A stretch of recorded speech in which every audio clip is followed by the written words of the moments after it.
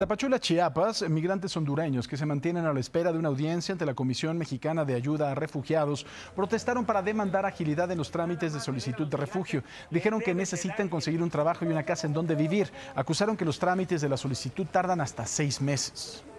La Fiscalía de Morelos confirmó que la denuncia presentada por los familiares del empresario Román Martínez y uno de sus trabajadores, Luis Fernando Gazón, cambió de desaparición a personas a desaparición forzada. Esto luego de que hay indicios sobre la participación de policías en la privación de la libertad de ambos. Los familiares esperan acciones por parte de la Comisión de Seguridad Estatal que se comprometió a apoyar las investigaciones. Ayer me preguntaba qué es lo que había pasado con... ¿Por qué no se había detenido a estos, a estos oficiales? Porque no sabíamos eh, que ellos estuvieran involucrados. O sea, no hubo nada que dijera que ellos estaban involucrados. Hasta ayer no había evidencia. Hasta ayer no. Bueno, la única evidencia es que se, se fugaron.